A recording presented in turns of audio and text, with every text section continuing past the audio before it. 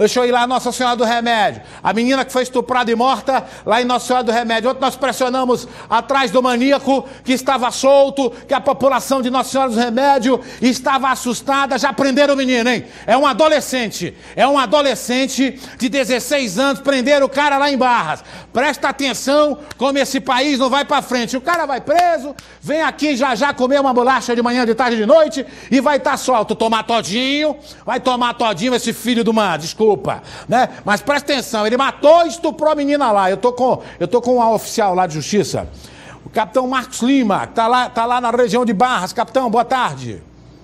Boa tarde, Silas. Bom, nós, nós mostramos ontem, mas só para recapitular, capitão, me permita uma menina, é, é, uma garota de 11 anos foi estuprada e assassinada com requintes de crueldade e abandonado seu corpo numa estrada vicinal do município de Nossa Senhora dos Remédios. Ontem um vereador ligou para cá, apelou para que a polícia continuasse em diligência para prender, para identificar o culpado por esse bárbaro assassinato, porque as crianças estavam temerosas até de brincar na rua, mas parece que agora, infelizmente, não podemos trazer a volta da menina, a vida da menina de volta, mas pelo menos o adolescente está retido, porque ele não está preso, né, capitão? Boa tarde.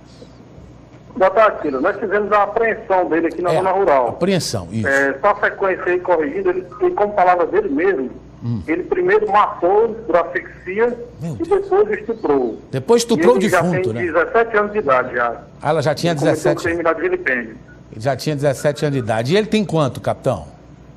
Ele, ele tem 17 anos e a menina que é prima dele era uma criança de 11 anos de idade. Ah, ele tem 17 a criança de 11. Pois é. Quer dizer que ele, ele primeiro matou, asfixiou a menina, sem dar chance para ela. Asfixiou, matou, matou sufocamento. Sim. Matou, palavras dele, matou sufocamento. E após isso ele estuprou a criança. Estuprou é um animal, rapaz. É um animal. Ele mesmo, ele mesmo, filho, ele mesmo informou aqui para nossa guarnição, lá, lá na, na na zona rural, do, ah. na localidade de Paquetá, na beira do rio, que ele estava se alimentando apenas de manga e caju, né, durante esses 15 dias. E no dia, ele comprou 5 reais de maconha e 15 reais de crack uhum. e estava fora de si. Mas eu não concordo com essa teoria dele porque ele contou com detalhes exatamente o que ele fez. Contou com Como detalhes que estava fora de si, né? É, é... Ele estava fora de si, mas eu não concordo com essa teoria dele, não. Porque ele vinha já na zona rural, no mapa, apagando o rastro dele, né, que a gente vinha perseguindo ele vinha apagando o rastro, mostrando total consciência do que fez. Tanto é que ele está ciente do que fez, exatamente. Claro, e conta ele com... Ele não mostra nenhum arrependimento e, e conta, sabe o que fez. E conta com riqueza... E sabe que vai ser topo daqui a três anos.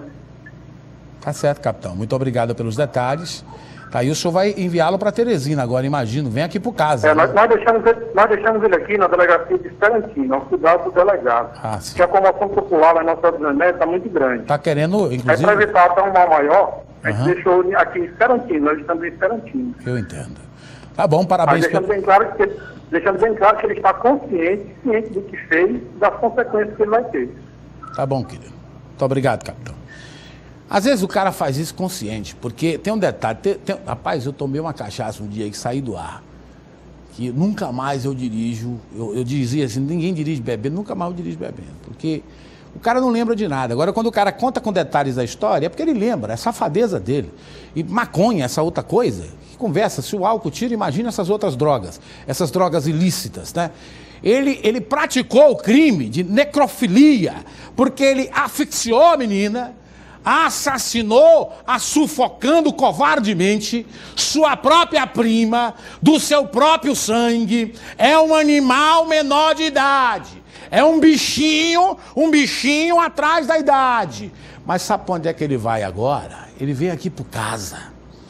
Vai cumprir seis meses de. Sabe o que, que você toma lá? Chocolate de manhã, chocolate de tarde. E quando tiver 18 anos, ele não vai cumprir uma pena, não. Tá? Tem que dizer, não, vai sair. Vai sair, acabou. Acabou. Aí quando eu reclamo aqui que nós precisamos discutir esse negócio dessa maioridade, nós precisamos discutir essa maioridade penal, não é chegar e transformar ela para 16, para 15, mas nós, rapaz, nossos parlamentares precisam discutir isso gente, gente. Nós precisamos fazer isso gente. Brincadeira, eu vou para o intervalo comercial, Samanta, o que é que ainda tem hoje aí?